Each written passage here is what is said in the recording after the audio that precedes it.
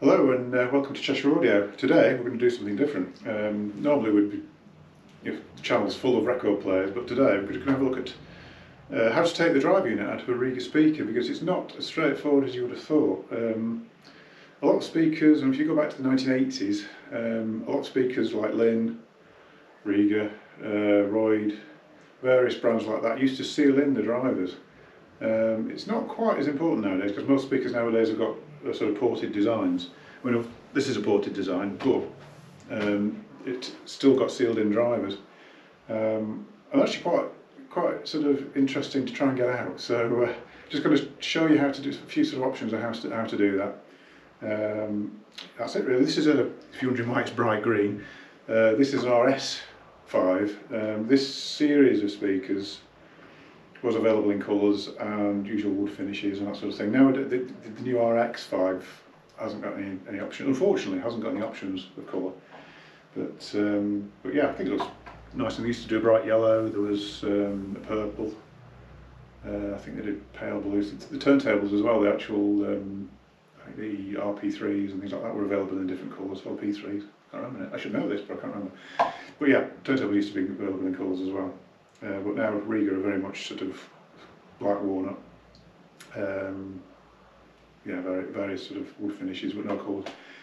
So right, I'll uh, I'll reposition the, the camera and we'll have a look at how to how to remove a driver.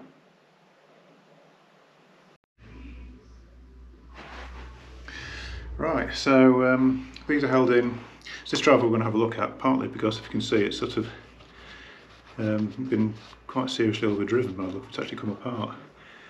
Um, I mean, these drivers, if you remember the Royd, loudspeaker company, um, Joe Ackroyd, who was a, the owner, made all these own drivers, and he actually collaborated, or Rega collaborated with Joe Ackroyd to make their sort of first range of speakers. And um, this driver is very much like the old Royd drivers. Uh, still, I mean, they, even the drivers they're doing now are actually quite similar to, to the Royd drivers, but they've they're a little, they've advanced quite a way, I suppose.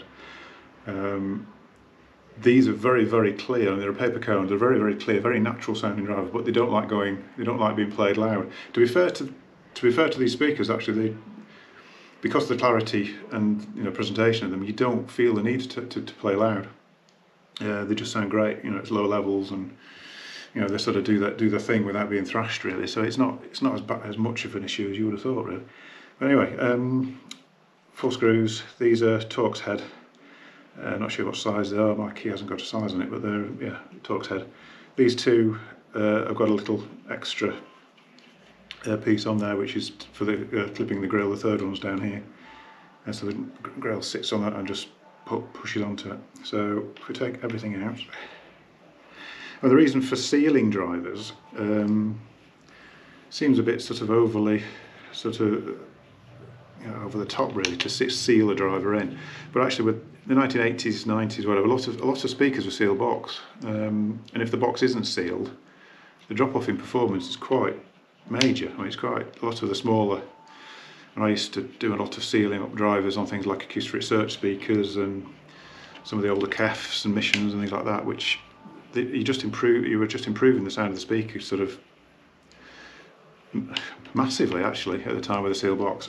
But actually when you when you listen to ported speakers, if you seal the drivers in, it does improve even a ported because I suppose it's stopping any, if you've got any leakage around here, with a seal box obviously that's a bad thing, but also with a ported speaker, any leakage around here is actually taking away energy from the port. So, and it's, it's altering the sort of response of the drivers and the cabinet and everything. So it's, a good seal is, is, is great really except when you come into a situation like this and you want to replace the driver. So now, um, I mean, there's a few options here. I mean, it's, it's, there's no way this is coming out. It's still completely glued in. Um, I mean, the thing you do not do is get your screwdriver down the side and start trying to lever it, which I've seen a lot of people do, and you end up with big gouges all the way around and whatever.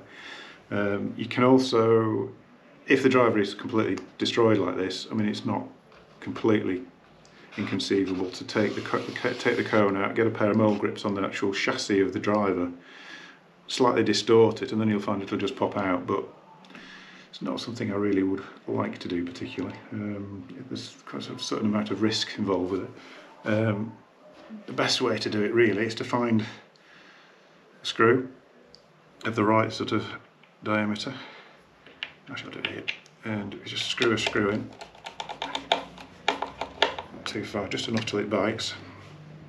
And there's a, there's a few ways of doing this. You can either always protect the cabinet, put a piece on to protect the cabinet, and find yourself some really good quality long nose pliers, which people will cringe at this, but you can lever it like that, that, that can bring it out. Um, I've seen people sort of lever from this point, but really, um, if you slip, you're going to cause all sorts of untold Um, next best thing to do, which I will just leave you for a second because I've forgotten a vital component to this.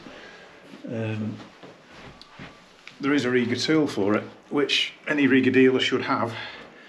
And here it is, um, in Rega green. But basically this works in conjunction with, with that. Um, put something on to protect the speaker. And you'll, if you just locate the end piece in with a screw, just give it a bit of a push.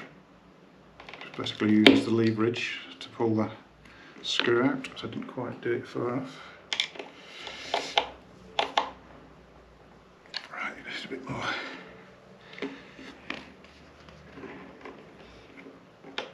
It's sort of hit and miss to a degree, but it just you can hear it going. That's it.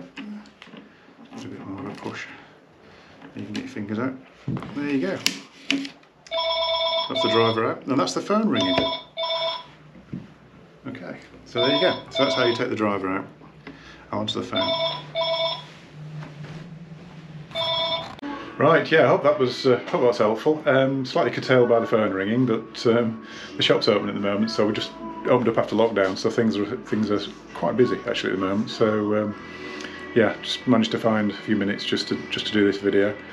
Um, yeah, that method works works well actually. It's just find if you just find a screw that just just bites into the into the chassis, and then if you you can either make up a tool or like I say use pliers if you if you've got a pair of pliers you're not too not too concerned about to lever it out. Um, but like I say, you'd have to use something. You have to use something as a um, like a seesaw effect if you need something to put under it, and always protect the cabinet because you can crack the cabinet because there's quite a lot of force, particularly if it's like an old Linn like Linn Kans and things like that. The amount of force you need to get those drivers out uh, is tremendous. So you need to really protect the cabinet. Um, yeah, I hope that was useful. Um, we're quite, like I say, quite busy at the moment. Got a couple of couple of Regas in, um, 90s Regas. Um, one's dead, the other one just needs a service. Um, actually interesting. They've still got its original cartridge on this one. Um, old R100 cartridge from 1982, and it's still still the original cartridge and stylus. So um, that should be interesting. Still works, but they just you'd find when they get to that sort of age, they just lose all the lose all their will to track somehow. But anyway, uh, I'm, I'm, intending to do a video on on cartridges actually at some point, but uh, that's probably wait a week or two until we, we calm down a little bit in the shop. So uh, so yeah, um, thanks very much. Uh, if you like what we're doing, just give us a like and don't don't forget to subscribe because that's that's really helpful actually if you can sub subscribe. Um, I will put the the phone number and email address along the bottom of here. Um, yes, see you soon. Um, not quite sure what we're going to do next. Need to do the the, the P6, P8, P10 comparison, but again, that's that's quite a takes quite a bit of time to set up that one. So we've not not done it as yet, but uh, the decks are here, but we just need to um, come up with the time to do it really. So anyway, thank you very much. See you soon.